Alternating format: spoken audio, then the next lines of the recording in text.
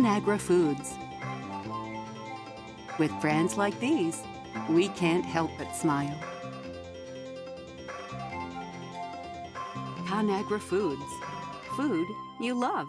In the 2014 National Grocers Association Supermarket Guru Consumer Survey report, almost half of U.S. adults say fast checkout is very important to their selection of a primary food store.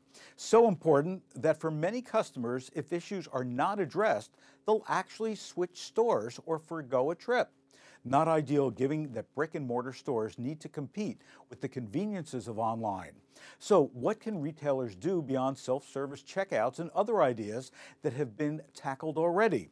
Well, it's time to think outside the box. Two recent developments to address checkout concerns are Whole Foods Market says it will use Square technology within select stores at its sandwich counters juice and coffee bars, pizzerias, and beer and wine bars to allow shoppers to skip those main checkout lanes, reducing wait time for everyone.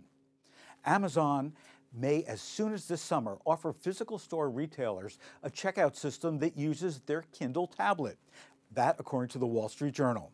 This could include credit card readers and services such as website development and data analysis.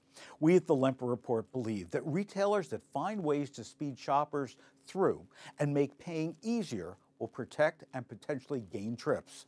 Also, with the right cloud-based technology, retailers could save a lot of redundant costs, manage enterprise data smarter, connect better with millennials' mobile devices, and entice more purchases with precisely targeted incentives and coupons. The Lempert Report uploads right here three times a week with the information you need to stay ahead of the trends. For more, just visit thelempertreport.com.